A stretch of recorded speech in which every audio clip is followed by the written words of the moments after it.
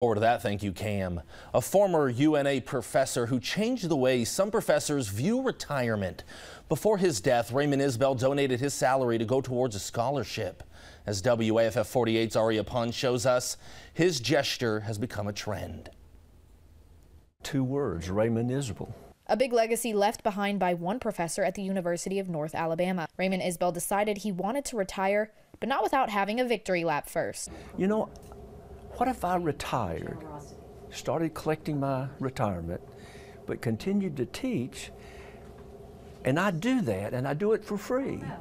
If y'all would contribute what you would have paid me and, and establish an endowment. Barry Morris was one of the very first to follow in Isbell's footsteps, and he's not alone. Many have come after, including Quinn Pearson. I want to add to that.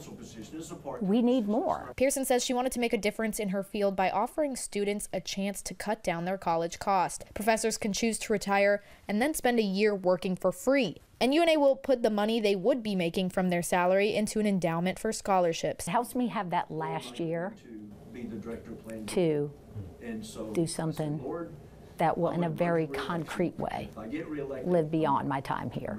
The professor gets to decide what department the scholarship will go toward. Pearson donated it to the counseling branch, while Morris gave his to the economics department. Pearson says this is a way to make her mark on the education field while also easing the burden on the students. Such a, it's so intangible, but so beautiful.